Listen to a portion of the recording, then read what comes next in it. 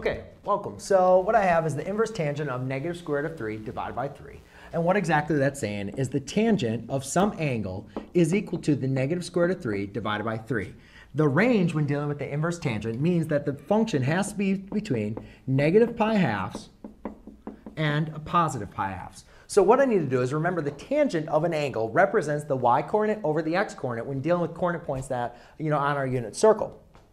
So what I need to determine is what coordinate points are, first of all, going to produce me with a negative angle, or I'm sorry, a negative value that is within my range. Well, nothing in the first quadrant is going to produce that because those are all positive values. But if I look at my fourth quadrant, I need to determine the ratio of what two points is can produce me with a value of negative square root of 3 over 3 when I take the y coordinate over the x coordinate.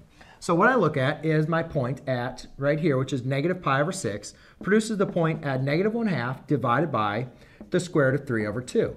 As I rationalize, I'm sorry, as I multiply by my reciprocal, therefore I end up getting a negative 1 square root of 3, and then as I rationalize that denominator, I get a negative square root of 3 over 3. So therefore, at that angle, which is here, which is negative pi 6, I get a value of negative square root of 3 over 3, which is exactly what I'm looking for. Make sure we don't include the positive angle because therefore that positive angle goes outside of our range, which we cannot do. We have to make sure we fall within the range of negative pi halves and pi halves.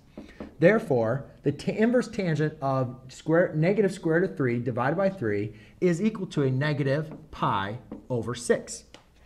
Or, saying it another way, tangent of negative pi over 6 is equal to negative square root of 3 divided by 3. Thanks.